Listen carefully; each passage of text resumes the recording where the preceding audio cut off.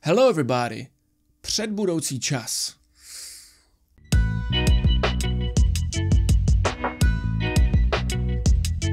Ono to spojení předbudoucí čas zní docela drsně, co? Nám stačí budoucí minulej, přítomný, ale předbudoucí, to už je opravdu vyšší dívčí.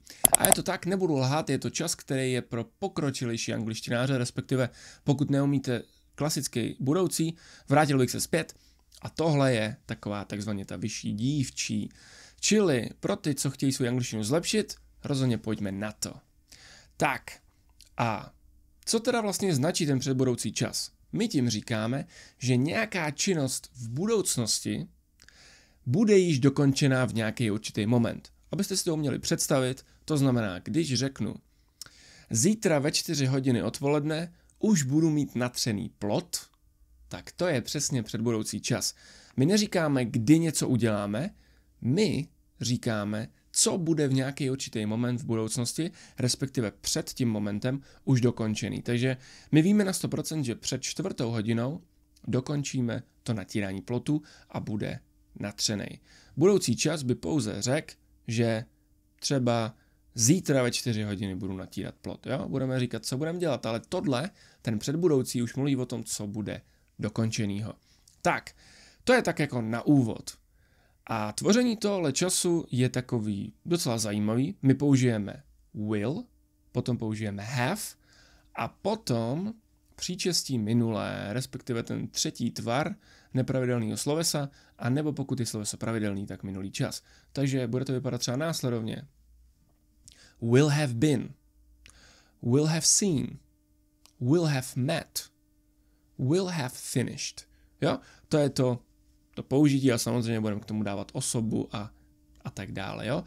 Ale to will, have a potom teda příčestí minulý. Takže třeba She will have finished her homework before you arrive. She will have finished her homework before you arrive. Co tahle věta říká? Ona bude mít ukončený svůj úkol, bude ho mít už hotový, než se vrátíš, jo? To znamená, až ty se vrátíš, úkol bude hotový. To je přesně to, co nám předbudoucí čas říká. Jo? A to předbudoucnost, protože to, ta budoucnost to when you arrive, nebo before you arrive, je ta budoucnost. A to, že to bude hotový, to vlastně bude před tou budoucností, proto před budoucí. Jo? A nebo třeba By the time you buy a new car, I will have bought mine. By the time you buy a new car, I will have bought mine.